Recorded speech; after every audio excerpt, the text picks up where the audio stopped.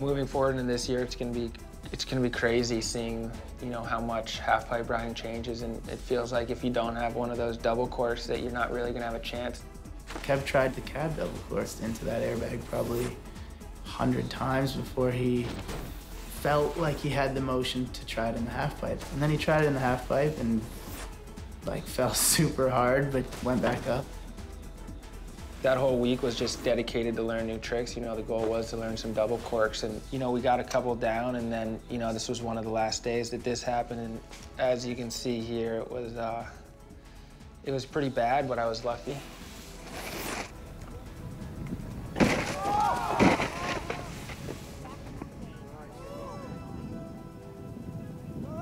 Ended up being a pretty severe break. Know, I had all these plans trying to get ready for the Olympics, and it's kind of slowed it down, but we still got some time, so it shouldn't be a problem moving forward.